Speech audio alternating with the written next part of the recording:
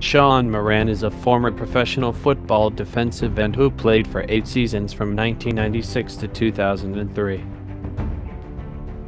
Moran was born on June 5, 1973 in Aurora, Colorado. In college, Moran played for Colorado State University in Fort Collins, Colorado. Moran was drafted by the Buffalo Bills in 1996 in the fourth round as the 120th overall pick. Over eight seasons, Moran played for the Buffalo Bills, the St. Louis Rams, and the San Francisco 49ers.